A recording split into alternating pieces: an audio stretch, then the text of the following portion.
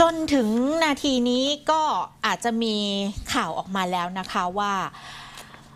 มีการตกลงกันแล้วเรียบร้อย ถึงตำแหน่งประธานสภาผู้แทนราษฎร แต่ว่านายวิโรจน์ลักษณาอดิศรแกนนำก้าวไกลก็เชื่อว่า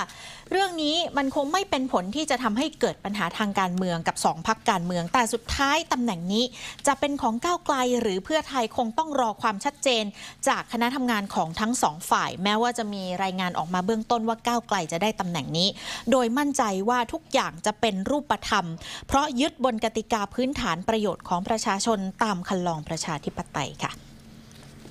จริง ๆ เรื่องนี้รอรอคำตอบอย่างเป็นทางการดีกว่า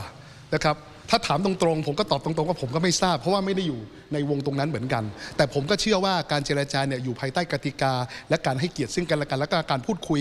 กันด้วยเหตุด้วยผลและการเอาผลประโยชน์ของประชาชนเป็นที่ตั้งอยู่แล้ว ก็รอด้วยกันครับ แล้วผมเชื่อว่าจะเป็นข่าวดีนะครับ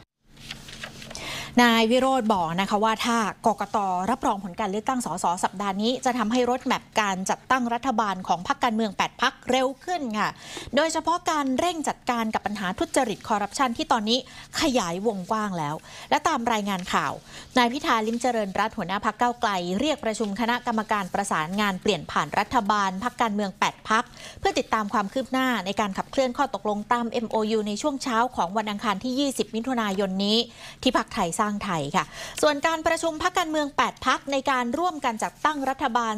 312 เสียง นัดหารือกัน 22 มิถุนายนที่พักเก้าไกลนะคะ เป็นการประเมินทิศทางการเมืองไทม์ไลน์การเลือกตำแหน่งประธานสภาผู้แทนราษฎร รวมถึงแนวทางการโหวตนายกรัฐมนตรีซึ่งก่อนหน้านี้มีกำหนดนัดประชุมช่วงบ่ายวันที่ 20 มิถุนายน เพราะว่าต้องรอผลให้กกตประกาศรับรองสสซึ่งตามรายงานข่าวนายอิทธิพรบุญประคองประธานกกตเตรียมประกาศให้ครบร้อยละ 95 ของเขตเลือกตั้งทั้งหมด ในวันพุธที่ 21 มิถุนายนนี้ค่ะ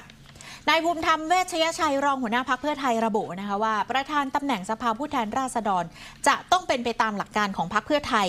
ก็คือรอผลการรับรองสสจากกกตอย่างเป็นทางการก่อนหารือ ซึ่งพักที่ได้สสเป็นอันดับหนึ่งจะ ต้องได้ตำแหน่งประธานสภาผู้แทนราษฎร ส่วนพักอันดับสองควรจะได้ตำแหน่งรองประธานสภาผู้แทนราษฎรทั้งสองคน เพราะว่าคะแนนห่างกันไม่มากนักค่ะรองหัวหน้าพักเพื่อไทยชี้ว่าถ้ากกตรับรองผลอย่างเป็นทางการแล้ว จะมีการหารือระหว่างพักเพื่อไทยกับพักเก้าไกล บนพื้นฐานในหลักการดังกล่าว จากนั้นจะแจ้งไปยังพักร่วมจัดตั้งรัฐบาล และแถลงต่อสาธารณชนให้รับทราบต่อไป ก็เชื่อว่าน่าจะจบลงได้ด้วยดี ทั้งนี้ไม่อยากให้มององว่าพักเพื่อไทยถอย แต่ต้องการรักษาหลักการเอาไว้ ซึ่งหากพักเพื่อไทยยังเป็นอันดับสองก็ต้องยอมรับในหลักการนี้ค่ะ